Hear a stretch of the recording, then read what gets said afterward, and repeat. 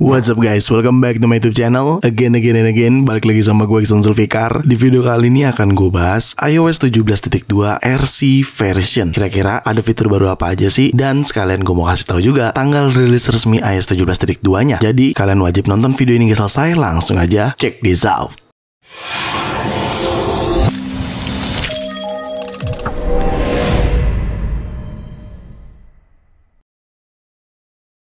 Finally, akhirnya Apple rilis iOS 17.2 RC version, tetapi tidak hanya itu aja yang dirilis sama Apple. Adanya iPadOS 17.2 RC version, macOS 14.2 RC version, watchOS 10.2 RC version, dan tvOS 17.2 RC version. Tenang, tidak hanya S17 saja, iOS 16 juga ada RC versionnya, yaitu iOS 16.7.3 RC version dan iPadOS 16.7.3 RC version. Itu adalah jajaran operating system Apple yang resmi dirilis secara RC version. Disclaimer dulu buat teman-teman yang masih bingung, RC version apa sih bang? RC version itu adalah tahap sebelum final resminya dirilis atau iOS ke seluruh publik gitu ya dirilis. Jadi sebelum finalnya adanya RC version dulu, baru ke finalnya seperti itu. Dan tentunya di video ini juga nggak mungkin semua fitur gue jelasin karena biar tetap excited pada saat iOS 17.2 resminya dirilis. Buat teman-teman yang udah ngikutin versi beta saat ini sudah update ke RC version atau sudah update KS 17.2 RC version, nggak apa-apa kalian standby aja. Jadi nanti tinggal tunggu versi resminya dirilis. Kalau build numbernya sama, berarti kalian sudah official. Jadi kalian tinggal turun off aja beta versionnya. Caranya gampang, kalian tinggal pergi ke setting, lalu general di sini. Setelah itu software update. Nah, beta update yang ini kalian turun off aja. Ya udah, kita mulai sekarang mulai dari build number dulu. Build number ada di general dan ada di about. Lalu KS version di sini build numbernya di 21C62. Jadi ini adalah build number yang ada pada iOS 17.2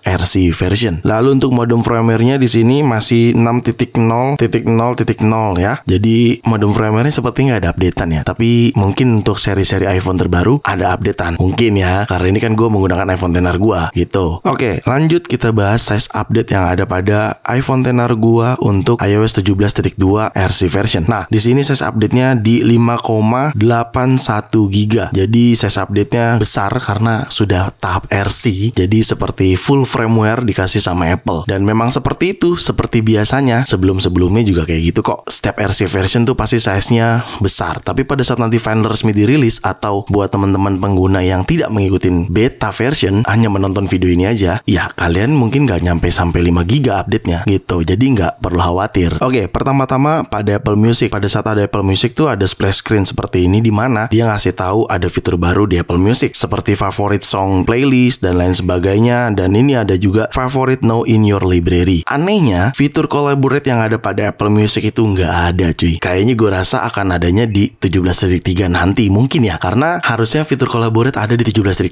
tapi entah apa alasannya Apple tidak memberikan di versi RC ini. Bisa jadi fitur tersebut tidak jadi hadir di S17.2 yaitu fitur collaborate Apple Music. Selebihnya fiturnya yaitu seperti favorite song tentunya ya, mau favorite song, mau favorite play playlist atau mau favorit album gitu ya. Jadi itu adalah tambahan fitur yang ada pada Apple Music dan fitur favorit tersebut ada juga di settingan di bagian settingnya di Apple Musicnya di sini. Nah seperti ini adanya add favorite song seperti itu. Selanjutnya karena gue menggunakan iPhone XR jadi gue nggak bisa kasih tahu tapi gue informasiin aja adanya improvement telefoto kamera pada focus speed ketika kita capture dan itu ada di iPhone 15 Pro series baik 15 Pro ataupun 15 Pro Max. Karena kita tahu di 17 2 bagian kamera di sini itu adanya fitur untuk spesial kamera di mana fitur tersebut berhubungan dengan Vision Pro yang ada nanti di tahun 2024 gitu. Jadi gue tunjukin aja di situ gambarnya dan gue kasih tahu aja fitur improvementnya. Ya karena di sini gue menggunakan iPhone XR jadi fitur itu nggak kebagian gitu. Selanjutnya aplikasi pada Weather. Nah aplikasi pada Weather ini ada tambahan yaitu gue nyebutnya gimana ya? Ya pokoknya buat mengetahui bulan lah ya lebih tepatnya. Di sini adanya Section Warning Crescent. Nah, di sini nih, jadi kita bisa tahu nih ya terkait bulan gitu ya, illumination, moonrise, moonset, next full moon gitu-gitu. Dan ada kalender juga dan lain sebagainya. Jadi Apple menambahkan section ini di aplikasi weather kalian. Setelah sebelumnya Apple sudah menambahkan angin atau wind ya di bagian sini ketika kita tap yang ini, kita pilih wind di sini, maka kita juga bisa mengetahui kondisi angin saat ini seperti itu ya. Dan Apple sudah menambahkan sekarang yang section bulan ini. Begitu cuy. Selanjutnya yaitu fitur airdrop. Adanya improvement airdrop. Intinya di situ tertulis kalian bisa lihat sendiri. Improvement include contact sharing option, paspor, movie ticket dan lain sebagainya. Kayak gitu. Jadi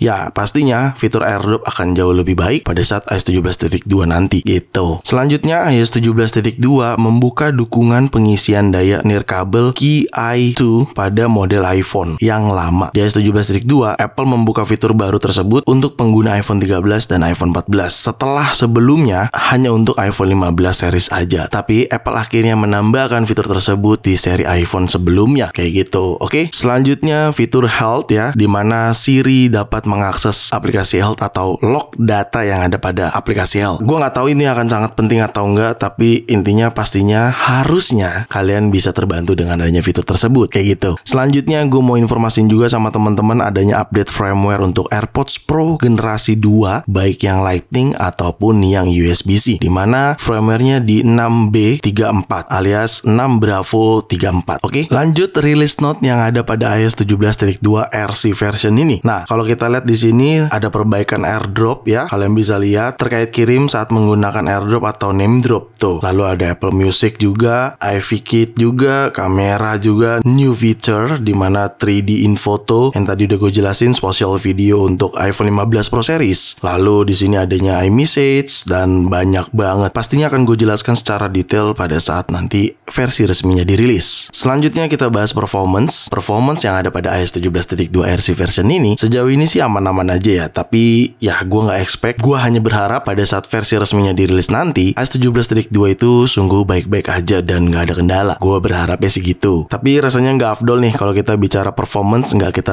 benchmark sekalian ya. Di sini gue akan menggunakan Geekbench untuk benchmark. Kalian bisa lihat iPhone XR, iOS 17.2, Apple A12 Bionic 2,49 GHz prosesornya dan memorinya 2,77 GB. Gue menggunakan iPhone XR. Kita langsung aja CPU benchmark dan run CPU benchmarknya. Oke, sedang proses. Kita tungguin aja dulu ya. Ya, ini adalah hasil benchmark di iPhone XR gue di iOS 17.2 versi RC. Untuk single score-nya di 1278 dan multicore-nya di 1707. Dan menurut gue ini hanya sebuah angka aja yang penting experience saat kita menggunakan iOS tersebut. Kalau skornya kecil ya maklum, ini kan cuma iPhone XR. Sekarang kita bahas baterai. Lagi-lagi gue katakan, gue nggak terlalu ekspektasi banyak untuk baterai di iOS beta ataupun RC. Tapi menurut gue yang namanya RC biasanya sudah mendekati dan sampai saat ini menurut gue baterai di iPhone XR gue dengan iOS 17.2 RC version ini baik-baik aja. Kalau kita cek ke activity-nya, di setting di sini lalu kita ke baterai ya. Nah, kalian bisa lihat di sini ya activity-nya nggak terlalu padat hanya untuk sosial media aja, tapi menurut gue udah cukup banget ya. Di mana iPhone XR ini belum pernah ganti baterai, bahkan kalau kita cek ke baterai health-nya masih 81%. Kalian bisa lihat sendiri ya. Makanya gue nggak terlalu ekspektasi banyak, tapi sejauh ini baik-baik aja dan gue berharap pada saat versi resminya nanti dirilis, baterai iOS 17.2 aman-aman aja untuk iPhone teman-teman semua, termasuk iPhone gue. Ya, sekarang kita masuk ke pembahasan terakhir, yaitu kapan sih tanggal rilis resminya iOS 17.2. Kita cek di kalender, kalau hari ini atau dini hari tanggal 6 ini dirilis versi RC, biasanya satu minggu kemudian final rilisnya atau iOS 17.2 secara resmi dirilis ke semua pengguna itu di minggu depan. Jaraknya cuma satu minggu biasanya. Kalau tanggal 6 dini hari ya bisa aja nih dia di tanggal 13 dini hari atau 12. Tapi menurut gua antara tanggal 12 dini hari atau tanggal 13 dini hari kayak gitu. Intinya jaraknya satu minggu gitu. Jadi ya lu pantengin aja channel YouTube gua biar lu nggak ketinggalan iOS 17.2 resminya dirilis kapan. Tapi seperti gua katakan tadi, kemungkinan tanggal rilisnya antara tanggal 12 atau 13 dini hari kayak gitu. Ya itu tadi isi dari iOS 17.2 secara RC version. Gua nggak jelasin fiturnya semuanya karena biar tetap excited pada saat iOS 17.2 secara resmi dirilis.